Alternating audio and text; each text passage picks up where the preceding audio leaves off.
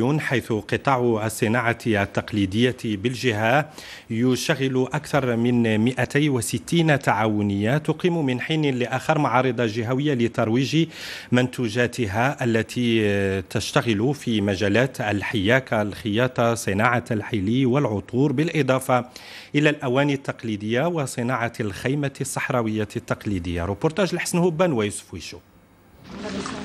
مدينة طرفايا مدينة صغيرة هادئة تربض على شاطئ المحيط الأطلسي بوداعة يقطع هدوءها صخب معرض الصناعة التقليدية المحلية. هنا عدة منتوجات صحراوية تقليدية بدءا من الأواني التي تستخدم في إعداد الشاي وإشاعة البخور في البيوت والخيم وهذه وسادة مصنوعة من الجلد تدعى بأسرمي يتوسدها العروسان في ليلة الزفاف. الصرام ما خلق شيء ما يصلحوا له.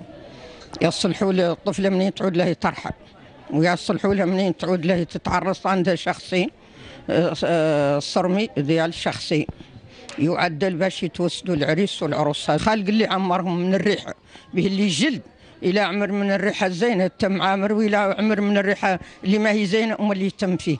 شي ريحة فاتي لنا عمر منها الجلد تم لا فيه ما تتحيد عنده.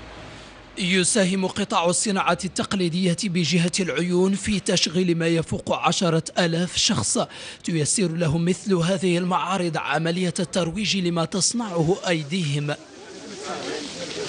هذا المعارض فرصة لتعريف المنتوج الصحراوي التقليدي وإعطاء فرصة للشباب أنهم يتعرفوا على المنتوج الصحراوي التقليدي الأصيل.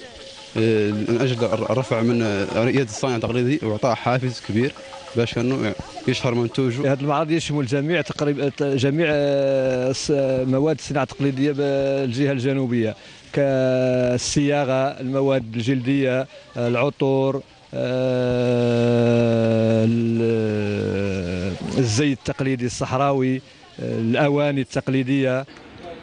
ولا تزال أنامل الصناع التقليديين بالأقاليم الجنوبية تبدع منتوجات ترسخ التراث الصحراوي الزاخر وتقاوم زحف المواد المصنعة عصريا.